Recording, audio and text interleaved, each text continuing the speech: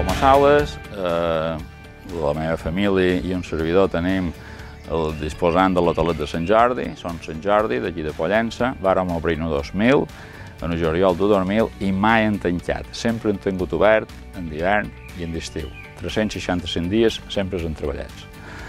Vàrem voler donar un sentiment d'esperança i un sentiment de, jo diria, d'inquietud, que, que, que no tinguéssim por a la gent després d'aquest moment tan difícil que vivim, vàrem voler donar exemple i vàrem obrir. La sorpresa va ser que mèdics se varen fer càrrec automàticament d'aquesta obertura perquè era les poques que hi havia dins Espanya i estem ara un poc a la palestra, diguem, de, del municipi de Pollença i l'hotel Son Sant Jordi i Pollença han sortit aquí tots els medis, cosa que en aquest moment volem aprofitar i estem intentant en les associacions diferents de Pollença crear una junta que, que espero que vosaltres ens ajudareu per poder defensar el municipi de Pollença. Volem que el municipi de Pollença soni tot arreu i volem fer una cosa que possiblement no han fet els altres, eh, que promocionen les seves zones i que promocionen les seves àrees. Nosaltres el que volem fer és ajuntar tots els teixits empresarials de Pollença perquè tots a una podem potenciar a través de nostres whatsapps, a través d'Instagram, el municipi de Pollença. El client va a un destí, no va perquè l'hotel sigui bo o sigui dolent, un, un, un, un destí se crea a través de tota l'oferta tota complementària que hi pugui haver i se crea per l'encant de lo que té la zona. Aquest encant, sense cap dubte, nosaltres som privilegiats. Per un costat estem ferrats a les muntanyes, a la costa, i per l'altre costat estem ferrats a la mà, a les platges.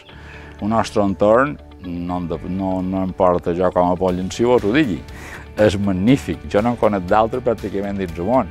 Disposant d'una península com a Formentor, disposant de Colomer, disposant de, de les vistes de la Talaia, que sou la platja de Formentor, que allò és paradisiaco totalment, les arenes són, són blanques, o cel és blavós, és preciós, no?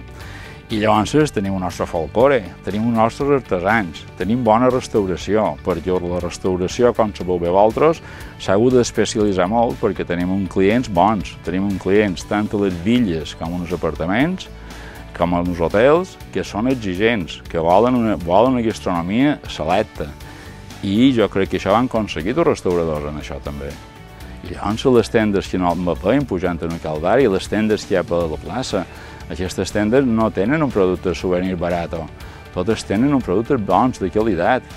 Jo crec que ara que he aconseguit contactar tota aquesta, totes aquestes associacions més importants i que estic segur que encara podré replegar les altres si mos queden una miqueta a l'aire, pues, serà un treball de, de, de futur jo, jo no voldria que fos un treball per només per aquest estiu, ni mucho menos. Jo crec que hauríem d'intentar, entre tots, repeteix que jo només som una punta de llança, però darrere hi ha tothom, és dir, tothom, tot el poble. Ha aquest senyor que té una villa, que millor té quatre telèfons de clients repetidors inglesos, que hi volem arribar en aquest, en aquest que, que, que ho passi, que passi per WhatsApp, que passi per, que, és a dir, que a Instagram, i aquests coneguts seus, aquests amics seus, que ho passin.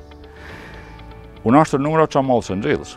Si, si aconseguíssim que 1.500 persones de Pollença enviassin 10 vegades a dos coneguts seus un WhatsApp o una informació de Pollença i aquests altres enviassin a 10 més, dos pits, on anem a 3 milions i mig, 3 milions i mig de visites. Això són números bestials. Aquesta és l'única diferència que poden tenir damunt altres associacions que només se limiten a passar el que és un vídeo promocional com tants que veiem, no direm noms, n'hem vist de Formentera, n'hem vist d'Eivissa, n'hem vist de Menorca, n'hem vist de Solla, dir, això, això mos plouran vídeos promocionals de totes les zones hoteleres. L'única diferència serà l'email, WhatsApp, Instagram. Visit Pollença. Per tant, depenem sense cap dubte, de tot el poble.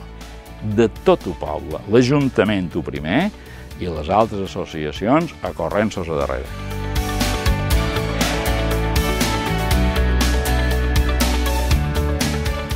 estem veient que altres zones de Mallorca, la de Plages de Muros, la de Cudi, ja tenen el que són a la platja les àrees delimitades per infants, per famílies, o sigui, famílies amb infants, per parelles, les distàncies que hi ha d'haver, les entrades, les sortides, tot aquest procés que implica una novedat per als ajuntaments i que ja està en marxa. A mi, en aquests moments, i estic esperant que supos que entre demà, màxim o passat demà, tindrem aquesta reunió a l'Ajuntament i l'Ajuntament ens explicarà com està aquest tema i com està un possible tema de neteja per, i de, i de, de, de que són els servicis de, de seguretat, els servicis de socorrista, que això que són, depèn, de, depenen de l'Ajuntament i que s'ha de muntar. Perquè el que són l'Associació de Veïns de Moll de Pollença, fins que no tingui permís de costes, no pot fer res o han de negociar amb l'Ajuntament i ells perquè se monti. Però les platges s'han de muntar. Estem ja a les fetges que estem i estem veient altres zones que ja hi ha gent a la platja, ja vosaltres ho heu vist per la tele, heu vist les notícies.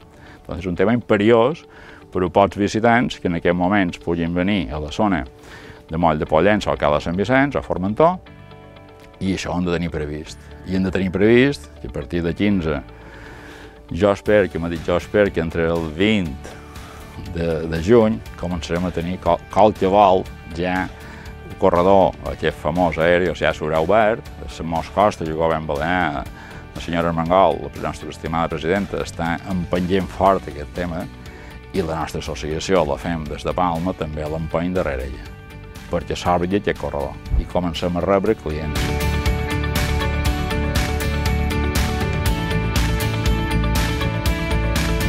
Jo li diria a un client Mm, possible client que, que basta que miri qui hi ha a Pollença residisquent, que tingui cases o simplement que vengui passar les vacacions aquí a Pollença a casa seva d'altres amics.